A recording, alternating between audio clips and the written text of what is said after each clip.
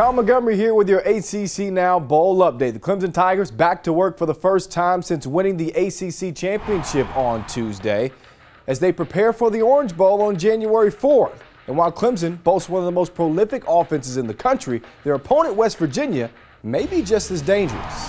We're both explosive on offense, but we're different. Uh, you know, they, they uh, I mean, they run the ball, but they're more, they're more really attack you through the air. Um, whereas we really want to run the ball and, and, and, and balance it up. Uh, that's, that's kind of that's what we want to do. Uh, and when we've been able to do that, that's when we've been at our best. The Tigers' backfield, meanwhile, may have a bit of a different look come game day due to the suspension of reserve running back Mike Bellamy for a violation of team rules. Bellamy did not play in the ACC championship and will obviously miss the Orange Bowl. As for his future, here's Coach Dabo Swinney.